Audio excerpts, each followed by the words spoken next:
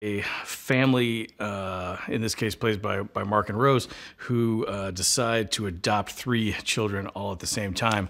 The inspiration for the movie, um, Sean and I decided we wanted to write a script about a family that adopts three kids, and we wrote it. And at the end, he loved it so much, he was like, "I got to go get three kids." So.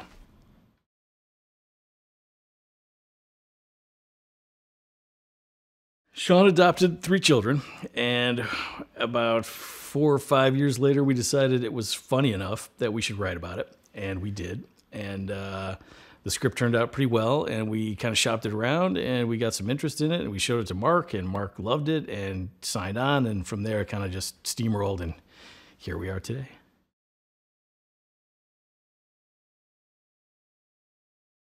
It was fun because I got to point out what an idiot he is. So that was good because um, he, he, made a lot of mistakes, and uh, we used those for comedic purposes. And uh, and we we kind of his story was actually fairly boring. Like he, uh, his kids came and they were they were actually really great kids. Uh, so we had to embellish a little bit. So we added a teenager, and it was based on a, uh, a woman that we met named Mairead. Uh, you hear that? Uh, so we kind of we implemented some of her story into the script, and uh, yeah.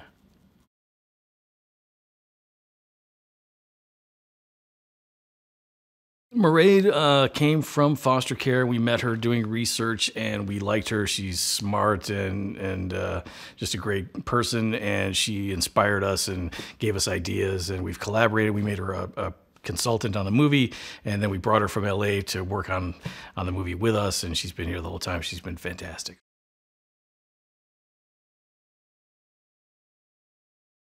We've been really lucky. All the all the women in this cat, like usually we write like male focused like Daddy's Home and uh, Hot Tub Time Machine or you know Horrible Bosses 2 where it's just it's like guys doing guy stuff. And so this was the first time we had a lot of women and it's been you know it was fun for us to write these characters and and all the women in the movie have been fantastic. Uh, Rose and uh, Octavia and Tig and Julie and uh, Margo and even uh, Isabela you know young lady fantastic actor and they've all been super nice crazy fun to work with, just fantastic people. So couldn't be happier.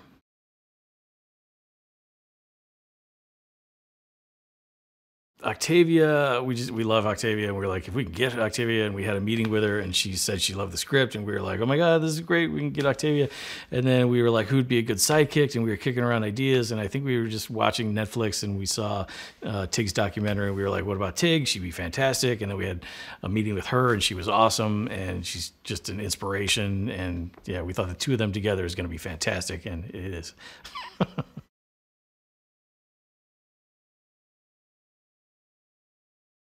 I mean, Octavia, we, we had already written the script kind of towards her to try and help, you know, try to get her to do it.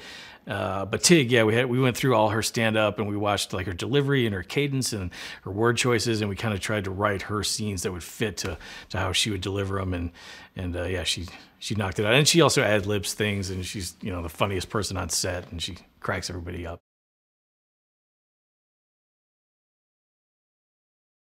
You know, and not to toot our own horns, but we we were trying to wherever we could. If you came from foster care, if you had adopted kids, we had something to do with the the world of it. We wanted to include you, and we cast actors who had come from foster care. Uh, we employed people on the crew who had come from it, and. Uh, just anywhere we could, we try to gather these people and, and bring them on board. And then we've partnered with different groups and organizations who also do foster to adopt. So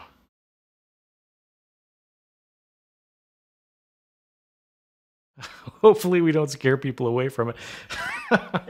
uh, that's the, we had to draw a fine line between uh, making it too scary, uh, so people were like, "I'm never going to do that." But uh, hopefully, by if you can make it to the end of the movie, if you don't walk out, you'll see that there's a happy ending and it is worthwhile, and hopefully, people will look into it, and, and maybe we'll get some kids adopted at the end of this.